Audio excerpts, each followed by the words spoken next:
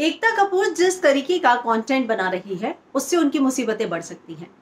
जी हाँ एक ऐसी खबर सामने आ रही है, जिससे ऑल्ट बालाजी जैसे कई ऐसे प्लेटफॉर्म का नाम शामिल है जिसपे चलने वाले कंटेंट पर अब साइबर सेल की नज़र है। एक स्टेटमेंट इशू किया गया है और मुंबई पुलिस ने एक शिकायत दर्ज की है। दरअसल पिछले कुछ दिनों में मुंबई पुलिस को ऐसी कई शिकायतें मिली कि इंडस्ट्री के कुछ निर्माता मासूम लड़कियों का शोषण कर रहे हैं और उन्हें अश्लील फ़िल्मों में काम करने के लिए मजबूर कर रहे हैं। पुलिस ने इस बारे में मामला दर्ज करते हुए पौन फ़िल्म सामग्री बनाने वाले निर्माताओं को समन भेजा है, जिसमें ऑल्ट बालाजी का नाम भी शामिल है। इसके अलावा भी और भी ओटीटी प्लेटफॉर्म्स हैं।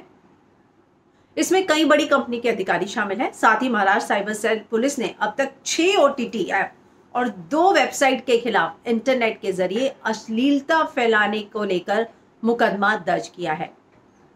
ये बात तब सामने आई जब ये बात पता चली कि लॉकडाउन के दौरान जो है 95 परसेंट तक पॉन फ़िल्म देखने वालों की बढ़ोतरी हुई है और कोरोना वायरस के चलते देश में लागू हुए लॉकडाउन के दौरान जो है ऐसा जो पॉन फ़िल्म है वो बहुत ज़्यादा देखी जा रही है।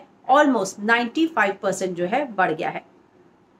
ओटीटी प्लेटफॉर्म इस बात का फ़ायदा उठा रहे हैं और लोगों को इस प्रकार के कंटेंट को पसंद करने का सबसे ज़्यादा फ़ायदा ओ टी टी प्लेटफॉर्म उठा रहे हैं। ओ टी टी मालिक ऐसे चैनलों पर किसी प्रकार की पाबंदी ना होने का फ़ायदा उठा रहे हैं, आप सभी जानते हैं किस तरीके का कंटेंट जो है ओ टी टी प्लेटफॉर्म पर परोसा जा रहा है। इसी राह में ट्रिपल एक्स गंदी बात चरम सुख जैसी कई अश्लील वेब सीरीज़ रिलीज़ की गई।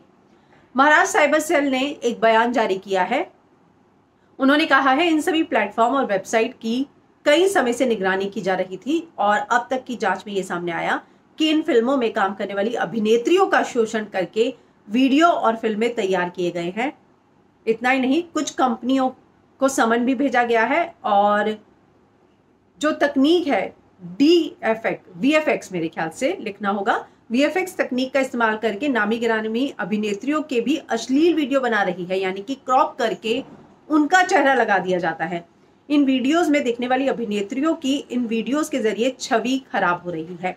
तो जिन प्लेटफॉर्म पर इनको समन भेजा गया है, जिनके नाम शामिल हैं, मैं आपको पढ़ के सुनाती हूँ।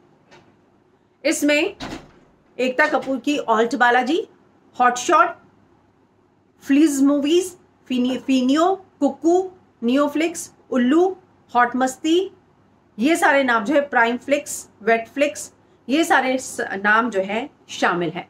तो ज़ाहिर सी बात है कि एकता कपूर की ऑल्ट बालाजी पर भी अब साइबर सेल की नज़र है और जो समन है वो इशू किया जा चुका है।